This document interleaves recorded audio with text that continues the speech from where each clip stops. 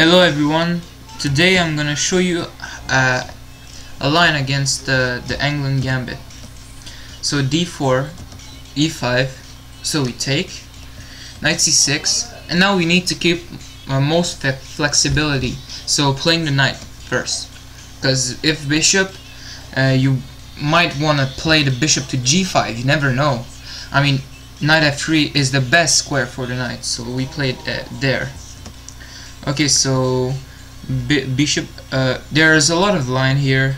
Uh, bishop c5 is uh, met by knight c3, and this is a possible line where bishop b4 is kind of forced because he was threatening knight d5. Uh, so bishop b4, queen d3, and yeah this line. Where white has a big advantage. I mean bishop b3 is coming and yeah it's it's just a matter of time basically. Even here you can play bishop uh, d3 I think this is better. Well Rybka thinks is it's better. So yeah um, uh, bishop. That's that was bishop c5. So what I'm recommending, the strategy for white is really to play dy as dynamic as possible. Uh, so yeah, and you'll see what I mean in the queen e7 line. So f6 I think is it's the the best practical bet. So against this, uh, I think knight g5, and it it looks like a two knights defense but in one in which white is really better. So yeah you see basic play and now I think uh, white is winning. Because now if he plays c6 then a3 and there will be permanent weaknesses more permanent weaknesses. And even though white king cannot castle he he will probably castle queenside. So yeah this is the plan for for f6 which looks like uh, a Ruy Lopez. Um what what is it called again? I can't remember what it's oh yeah the Schliemann gambit. Okay so yeah the Schliemann gambit. But after bishop c4 this is way better version of the d3 Schliemann 5d3 Schliemann I guess because the bishop is already on C c4 so the positional domination plan for white really works here.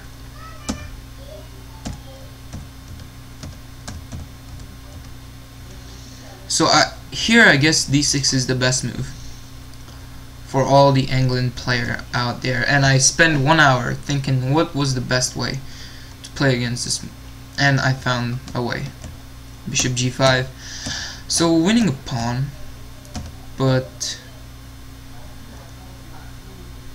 well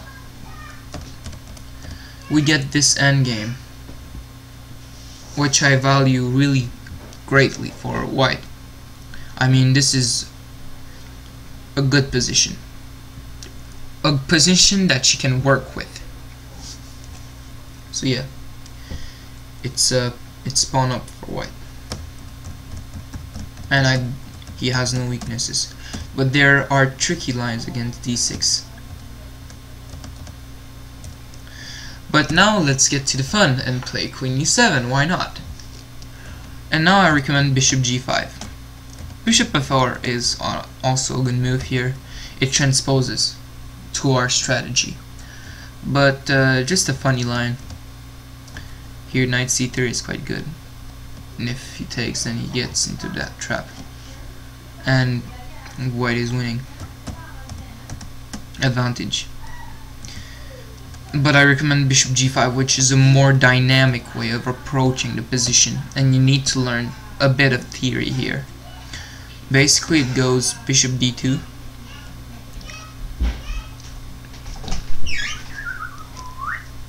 so so yeah taking is an error because now you can play knight c3 but I guess the best move is uh, whoops sorry. The best move is just going back on e7 sorry. And then bishop c3 f6 e4 takes. And here bishop c4 knight f6 knight g5 or knight d2 and basically a good position for white why not so yeah but if he takes and falls into the dynamic plan then this is really hard to play for black. He needs to know his stuff.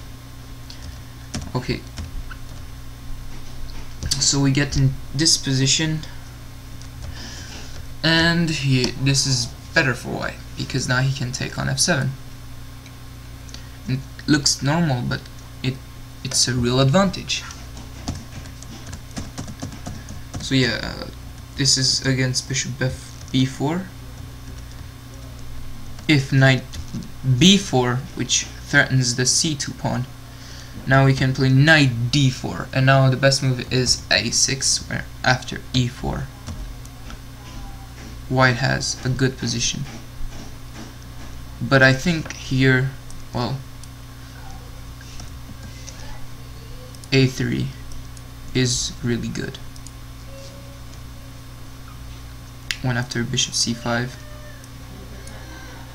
rook b1 queen takes a3 knight to b3 this is all computer recommendation.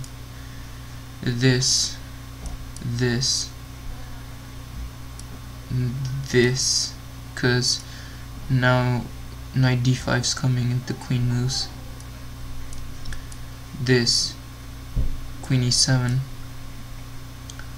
and e4 and this is advantages advantageous for white.